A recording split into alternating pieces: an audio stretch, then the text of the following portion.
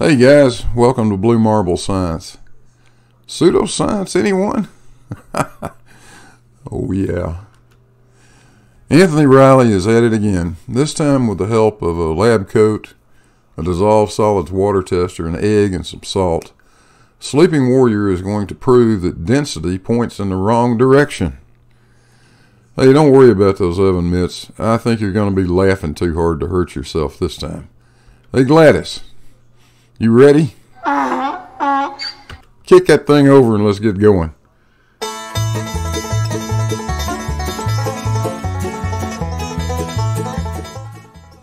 Anthony is still trying to teach us the scientific method while at the same time being unable to understand the difference in dissolved solids and density. I don't know. Maybe you don't need to know anything about science to talk about science. I'll tell you what. Let's just uh, watch this train wreck unfold. Here's, here's a fun question for Riley. What's denser, an egg or water?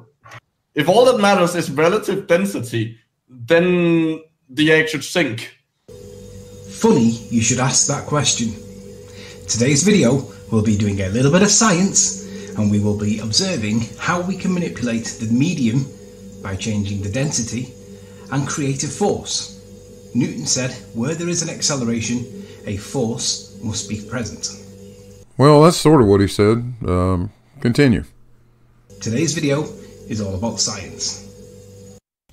But first, some context from a science denier with a counter to my claims from a recent video of mine. The self proclaimed physics degree undergraduate makes a claim and gets it totally wrong. Let's consider his words carefully. This guy claims to be a man of science but doesn't know what the cause is in an experiment. Neither does Geo Whisperer. Between the density uh, of the egg equal to the density of the medium it's in. But what Nora says is he equates cause with that which one manipulates. Well, your independent variable is the variable that is manipulated by the researcher in an experiment. It is the presumed cause. Stop. Uh, the reason he's talking about this is again is because uh, they hasn't mentioned it here, but I think in this experiment, this video, they actually poured the salt in. So I think he's claiming you can change the density of the medium, and therefore that is the cause or his independent variable is how much salt you've poured in. He hasn't mentioned this, of course, but I think that's actually what he's trying to get at. I mean, I know it seems insane what he's saying here about you, you've got the you have the control of the density, and he's but he actually means that that's because he's been pouring salt into it or not. Yeah, exactly. You obviously do have the control over the density, but where's the connection from that to density is a force? Yeah, I mean, just there's, there's exactly no relation there. Exactly, he's just gone off wildly into this quantum eraser dogma dogma land where they prefer to live about independent dependent variables, and so he's just trying to prove forces because there's an effect as a result of changing the independent variable, i.e., the thing that is the cause in his mind. Although, of course, he doesn't like the idea of any cause has more than one factor, because of course you've got the density of the um, the the the liquid, you've got the force of gravity. In other words, there are multiple factors, and he can't cope with that. Like Nathan doesn't understand that an effect is the result of more than one one more one more than one factor. That's very true, but I'm not sure Anthony's going to be able to understand it. Quite frequently, in fact, most of the time, you've got more than one variable that can affect uh, uh, the outcome. And when you have multiple variables, it's, it's just important that you hold all but one of them uh, constant. And hopefully you have guessed correctly, and the one that you're varying is the one that will have the most effect. But when you've got multiple variables, you're pretty much obligated to test each one of them independently. And as long as all all other things are held constant, and you only vary one thing, you can determine what the uh, effect of that is. Now, in this particular case, we understand very well that this will not work in microgravity. So you cannot ignore gravity. That has got to be tested at some point in order for this to be a very uh, uh, in order for this to be a valid experiment.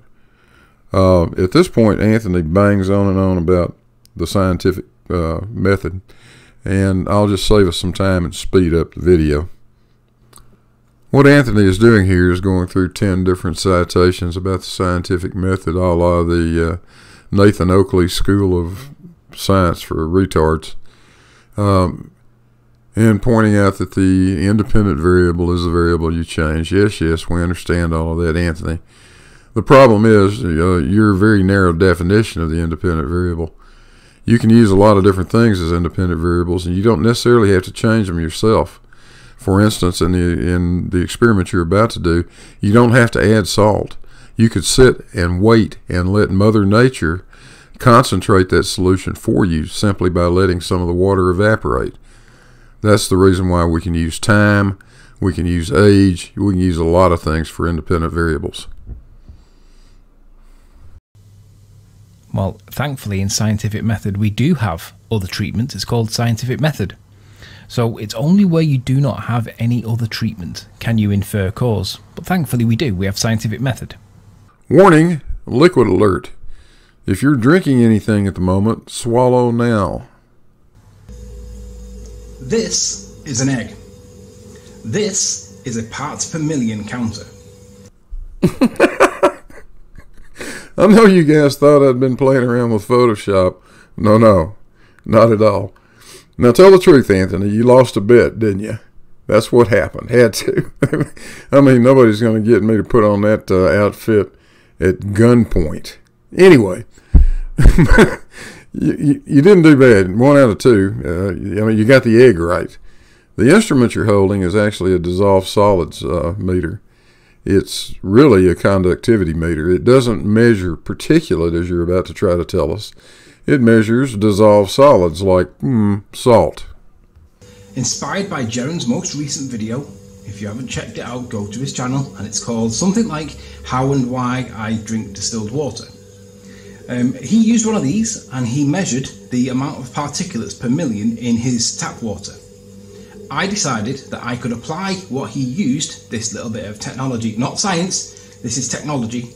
I could apply this technology and I could perform a practical scientific experiment where I could measure the density of a medium, in this case water, and I can make this egg move all by itself with just a little bit of salt. I can observe my phenomena to be that some objects appear to float some objects appear to sink. Some objects will suspend in different mediums. My hypothesis is if I change the medium's density, the egg will move.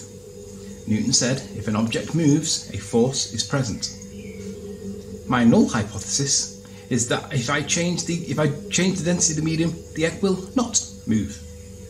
I will activate one of the hypotheses. My independent variable my presumed cause that I must manipulate in an experiment is the density of the medium. My dependent variable is the movement of the egg. I will also try and keep everything else constant. The volumes of water, not no change, just the density of the medium. Let's see how I'm going to do this. This is my egg. This is my parts per million counter. This is going to measure the parts per million of both these fluids. This is tap water, regular tap water. That is the same tap water, but it's been preloaded to save some time with some salt from this to give it a density variation. It's going to measure the density of the, the tap water. Well, you're going to have a problem here, Anthony. You're not going to be able to measure the specific gravity of the water with a dissolved solids analyzer. You need a hydrometer for that. A hydrometer looks like this. It is a calibrated buoyant device that allows you to read the specific gravity of a fluid. Now, you could call it relative density if you like. A better term for it is specific gravity. But a bigger question is if you don't know what these instruments are, what they do, or how to use them, is this what you would call pseudoscience?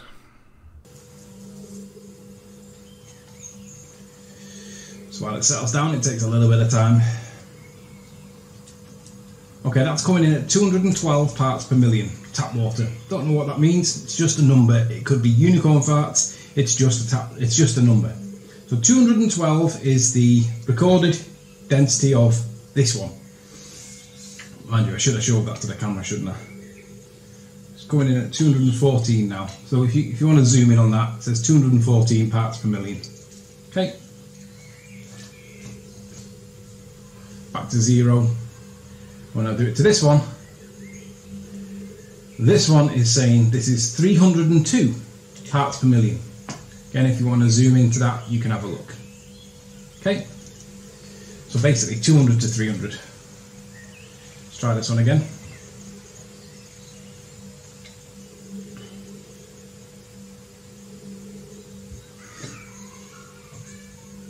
Two hundred and eight. Yeah, it's about two hundred.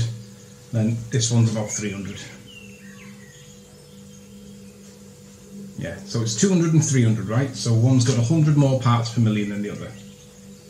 That tells me that there is a density variation between the two. So what we're going to do is we're going to see what happens when this egg is dropped into here. It sinks and it's touching the floor. Let's take the egg out.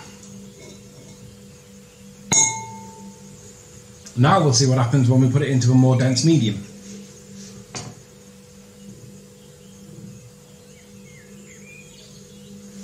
So whilst was settling down, this was done last night because it takes ages for it to dissolve and it um, get to a point where it's saturated. And I've got some residue at the bottom that is salt. Um, so at the bottom at least, it's getting relatively saturated. So I'm going to give it a stir to stir it up so that the uh, it evenly distributes a little bit better. Because what I'm hoping to do is get the egg so that it's just sat above the bottom of the thing.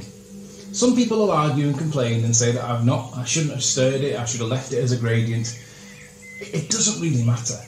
Because what we're trying to establish is if the medium is different, does it make a displacement? Does it force a displacement? If it forces a displacement, according to Newton, there is force. This is just normal table salt from your favourite supermarket. Other supermarkets are available. We can tell that the density of the egg is equal to the part in the glass where the, the liquid is. What I'm now going to try and prove is that if I change the density of the medium, I will cause the, the uh, effect by adding salt. So if I can change it, because I'm manipulating, I'm the experimenter and I'm manipulating my presumed cause, my independent variable is the medium, that egg moves, I've caused it. We know the parts per million is about 300. All we need to do is pour some of this in. Hey, what do you know? The eggs immediately moved. Didn't have to wait for that, did we? So, what's the explanation? Well, I'm going to measure this now. This isn't going to be much more above 300.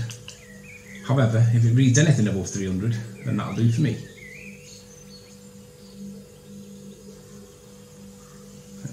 How do I reset? There we go.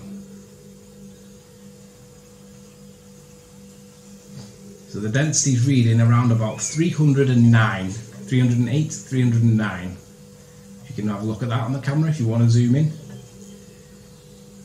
But I've just made the egg move.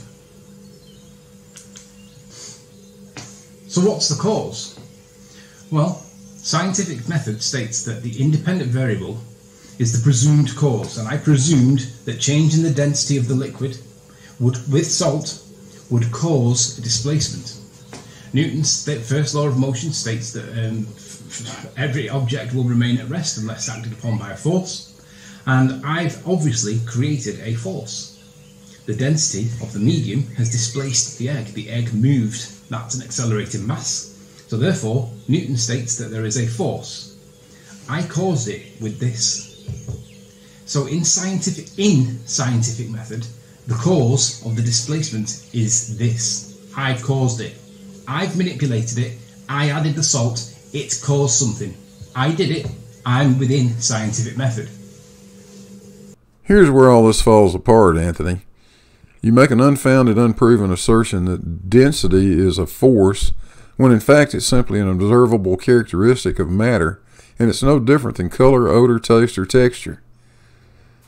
You presume the only possible reason for the egg to remain suspended was density, when in fact we're talking about buoyancy, which is dependent on gravity to work in the first place. What you're doing is committing and affirming the consequent logical fallacy. You actually demonstrated the egg falling up to a region of lower density when everything in the atmosphere falls in the opposite direction. How can you explain that? And you can't provide any method of prediction that would tell us the magnitude or direction of your supposed density force. The measured demonstrated effects of gravity explain all of this.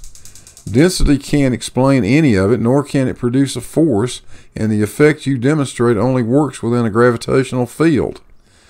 By omitting the effect of gravity, you're simply begging the question. Density is a physical property of matter, nothing more. Trying to suggest otherwise is simple intellectual dishonesty and pure bullshit. Well, stay in school, kids, unless you want to end up like these two guys. Hope you enjoyed the video. If you did, don't forget to like and subscribe. Hey, Gladys. Ah. We're out of here.